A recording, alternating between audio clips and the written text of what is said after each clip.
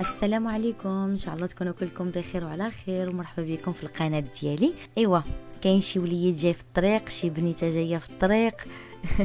تقولوا علاش تنسقسي؟ ايوا تنسقسي حيت الموضوع ديال اليوم هو آه بعض المستلزمات اللي كنت مترددة في اقتنائها لكن من بعد ما اشتريتها واستعملتها مرة وجوج ما ندمتش عليها وبالتالي حبيت نشاركها معكم أول حاجة غادي نبدأ بها هي هذا ال moniteur ماشي بالضرورة يكون بالكاميرا اللي تيصلح بزاف في البيت اللي فيه الطبقات أو حتى فاش ينتقل الطفل من غرفه الأم إلى الغرفة الخاصة به وممكن فاش يكبر الطفل تستعملوه في الغرفة ديال اللعب ديالو. ثم كاين هاد la pompe اللي تتساعد بزاف إلا كانت الأم عندها مشاكل في الرضاعة أو الأم سيدة تشتغل أو حتى إلا كانت ربة بيت فالأم بصفة عامة في الأسابيع الأولى من الولادة تتكون محتاجة إلى قسط كبير من النوم آه، والراحة فلا بأس إلا استعملتها وخلت زوجها أو الأم ديالها يرضعوا الرضيع في مكانه ممكن يبان يبانوا هاد الصباعيات ماشي مهم أني نشاركهم معكم آه ولكن بالنسبة ليا كانوا شي حاجة مهمة أنني نستعملهم في البداية آه بحيث أننا تنعرفوا بأن ال bébé فاش يتزاد تيكون صعيب نقلموا ليه الأظافر ديالو باستمرار ولو يكون نائم.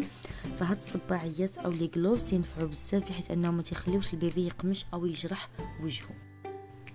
أما بالنسبة لهذا الحليب فكلامي سيكون موجه للأمهات آه، اللي ساكنات في كندا أو أمريكا.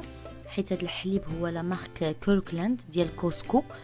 وتنعرف أن بزاف ديال الأمهات كانوا مترددين أنهم يستعملوا هذا الحليب وأنا منهم. آه، لكن من استعملته ما ندمتش عليه بحيث أنه وافق أطفالي وما سبب لهمش les coliques أي الغازات زائد أنه بثمن معقول مقارنة مع الماركات الأخرى. أما بالنسبة لهاد les biberons Playtex فأنا تنصحكم بهم الصراحة رائعين. إلى لاحظتوا آه حتى الشكل ديالهم فهو تساعد على الترضيع في وضعيات مختلفة زائد أنهم تتنظفوا بسهولة. وكاين هاد لو الخاص بالرضاعة فهو عملي جدا آه، بحيث أنه تسهل على الأم الرضاعة زائد أن المرأة الحامل ممكن تستعمله في النوم حيث معروف أن في الأشهر الأخيرة من الحمل تيكون صعيب على المرأة الحامل أنها تلقى وضعية مريحة للنوم. وما نسوش طبعا آه، ممكن الاستعماله فاش يكون ال bébé عاد بادي يتعلم يجلس فهو تحمي الطفل.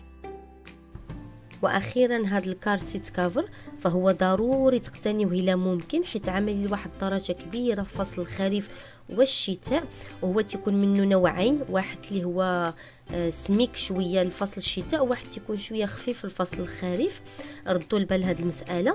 ومعروف بأن الناس في الخارج آه، جل الأماكن تيكون فيها الشوفاج وبالتالي آه، بالنسبة لتجربتي أنا المعطف ماشي عملي بتاتا مع رضيع حديث الولادة. إن شاء الله الفيديو اليوم يكون نال الإعجاب ديالكم والى عجبكم ما تبخلوش عليا باللايكات وما تنسوش تنضموا للقناة وتفعلوا الجرس باش يوصلكم دائما الجديد. يلا باي باي